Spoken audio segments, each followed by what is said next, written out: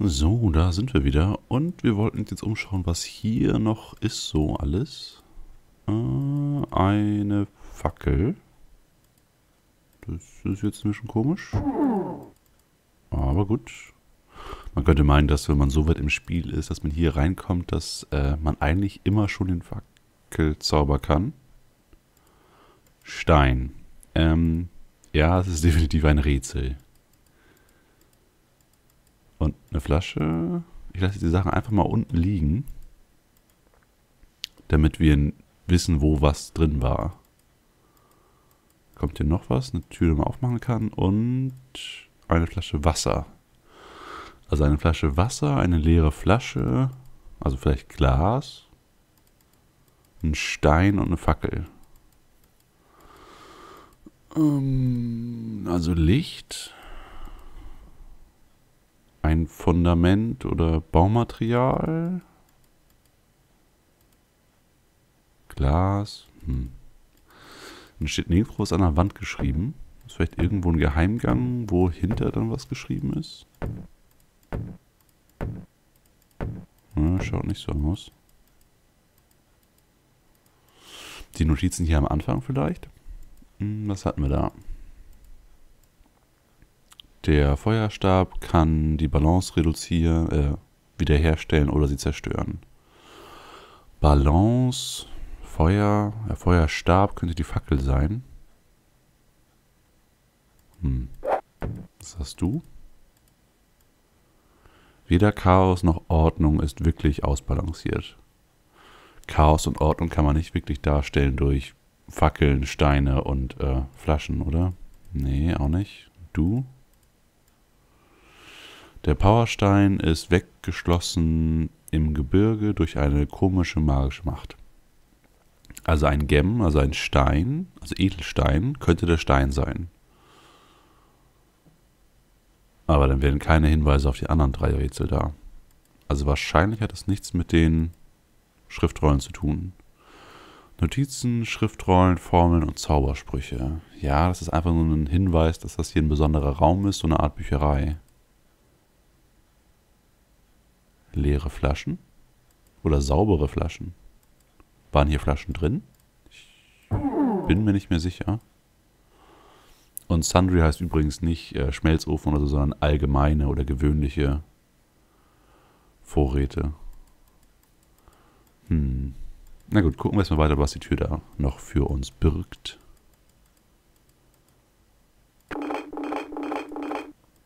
Wir haben noch eine Nische. Ah, da sind hoffentlich Hinweise drauf. Ähm, Balance ist das ultimative Gute.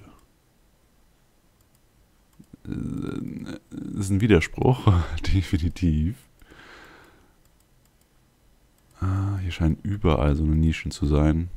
Was haben wir hier? Asche und einen türkisen Schlüssel. Asche tue ich mal wieder rauf. Das ist echt eine komische Ecke hier.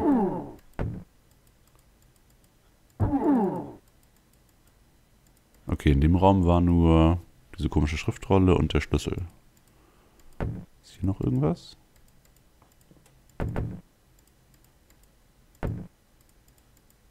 Oh, ich könnte mal den Sichtzauber sprechen. Ah, College Block, wo bist du?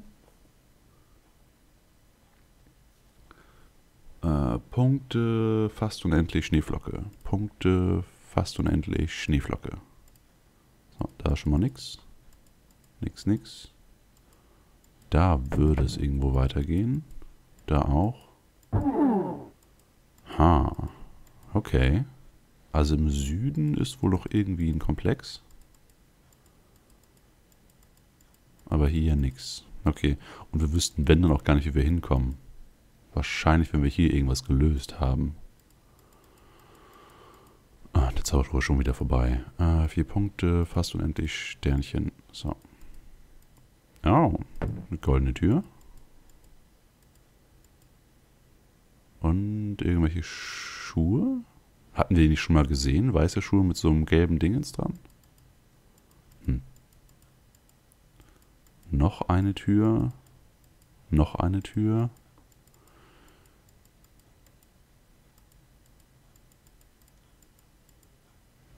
Okay, das erklärt's. Äh, oh.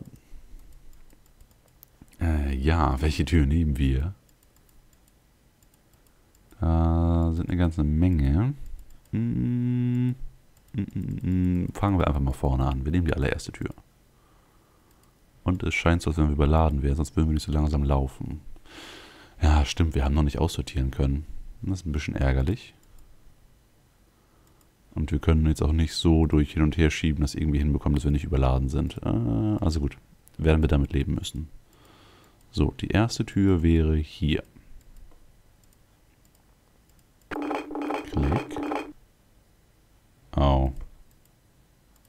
Boltblade und Flamebane. Äh, vielleicht hätten wir vorher durchgucken sollen. Äh, ich bin versucht, jetzt neu zu laden. Aber wir haben nicht wirklich irgendwas da hinten gelöst. Und dann könnten wir den Durchguckzauber benutzen, um uns zu entscheiden, welchen Gegenstand wir nehmen wollen. Also ja, wir sprengen uns mal kurz selbst in die Luft. Das klappt sogar besser als gedacht.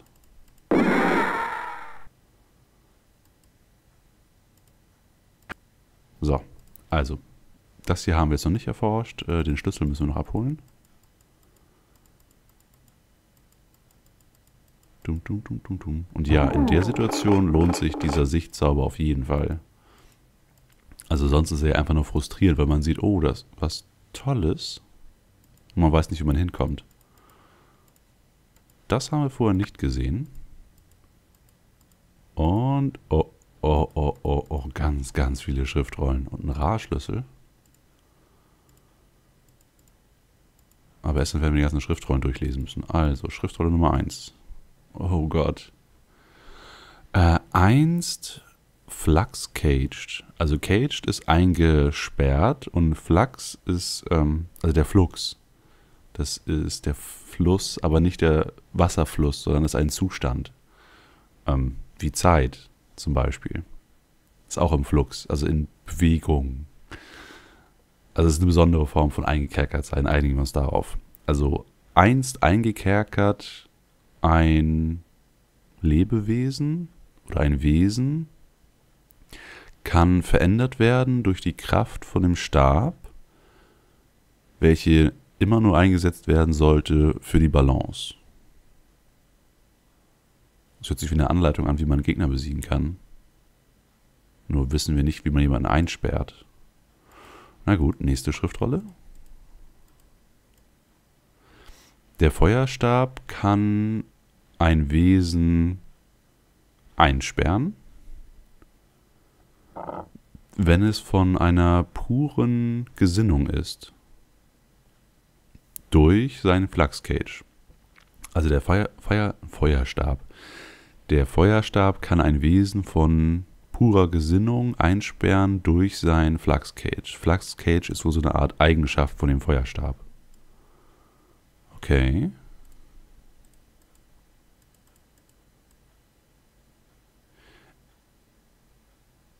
Ich habe dem Feuerstab viel Kraft gegeben. Kraft, um etwas zu tun und etwas zu untun. Also ähm, eher so eine Art zerstören. Also etwas herstellen, etwas auseinandernehmen. Auch wenn das keine wirklich gute Übersetzung ist, aber ihr wisst schon, was ich meine. Äh, die Kraft zu zerbrechen und zu heilen. Also es ist wohl ein, so eine Art Anleitung für den Feuerstab. Mit etwas Glück bekommen wir den gleich. Wir haben jetzt ja noch einen Rachschlüssel gefunden. Ich fürchte, um die Menschen der Welt sollte der Power Gem und der Feuerstab in die falschen Hände gelangen. Okay, also müssen wir wohl den Feuerstab und diesen Power Gem finden. Wenn jetzt einer von der der Power Gem wäre, wäre es schon echt schick. Wenigstens schon mal einen von den beiden Sachen.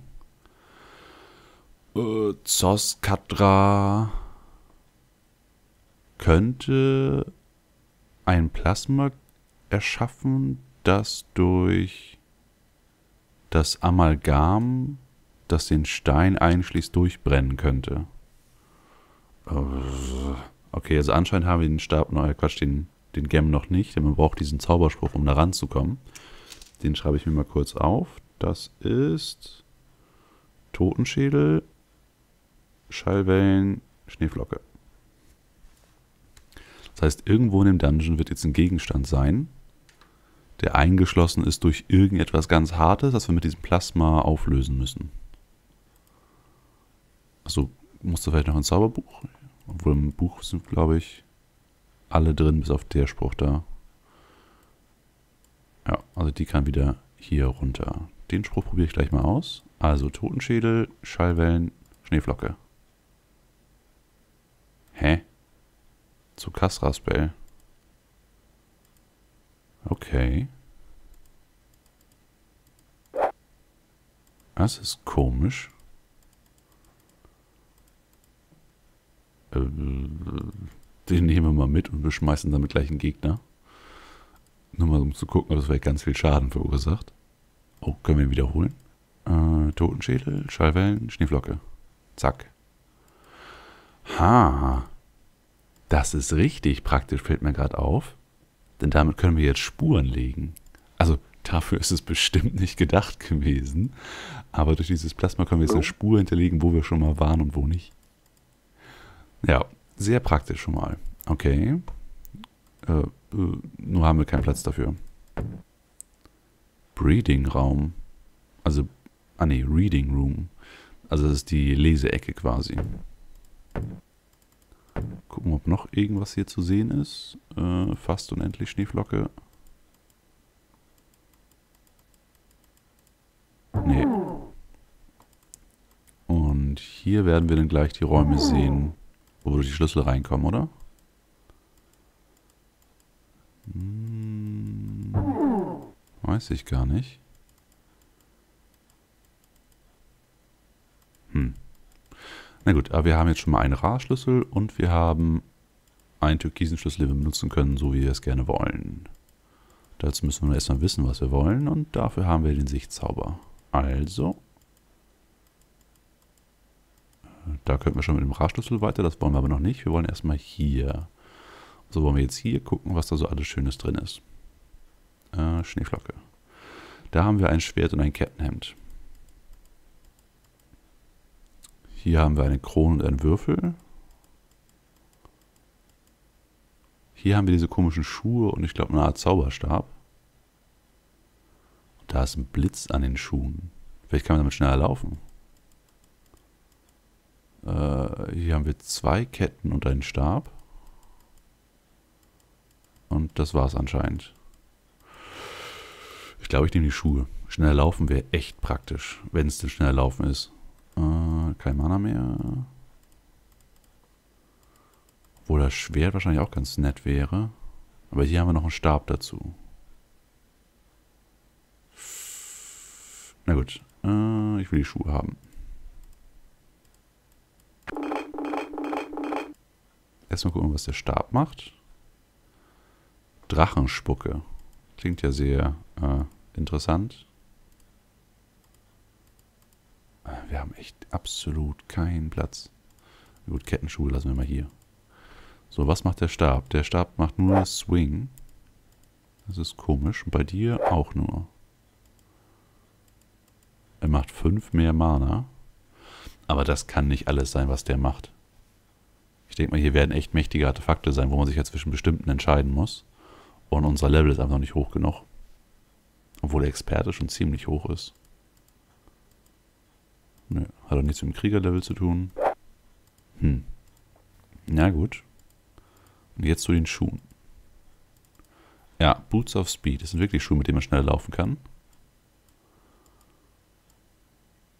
Die wiegen auch fast gar nichts. Das ist schon mal sehr praktisch. Nur jetzt wirklich schneller... Also, ich, na, wir sind wahrscheinlich nicht so schnell, weil wir jetzt überladen sind. Aber ein bisschen schneller kommt es mir schon vor. Na gut. Äh, die Plattenschuhe können dann eigentlich auch weg. Ich habe den Verdacht, wir werden noch gegen mehr von den Rüstungen kämpfen müssen. Oh, und hier ist eine Tür, die wir nicht aufkriegen, wir kein Schlüsselloch haben. Mm -mm -mm. Nochmal sich zaubern. Ja, da ist ein Schwert. Und hierzu sind Parallelgänge.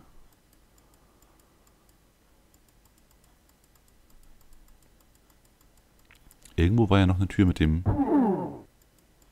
Ra-Schlüssel. Vielleicht führt der dahin. Ah, hier waren die anderen beiden Türen, die wir schon aufgemacht haben. Ah, ah, ah. Was wir so viel übersehen haben. Na gut, was steht denn hier drauf? Die Schlüssel für diese Passage liegen tief versteckt. Äh, ja, die haben wir aber schon gefunden. Aber eigentlich habe ich nach einem Weg gesucht, um zu dem Schwert zu kommen. Gucken wir mal weiter. Aber hier scheint kein Weg zu sein. Da geht es wieder runter zur Ebene 8 und da geht es hoch zur Ebene 6. Hm, na gut. Speichern wir kurz ab, auch wenn wir nicht besonders viel geschafft haben. Primär haben wir die ganze Folge über gelesen und irgendwelche äh, Wände ausspioniert. Aber gut, in der nächsten Folge gucken wir dann uns hier weiter um und gehen eventuell nach oben zu der Rumpelkammer. Also bis dann.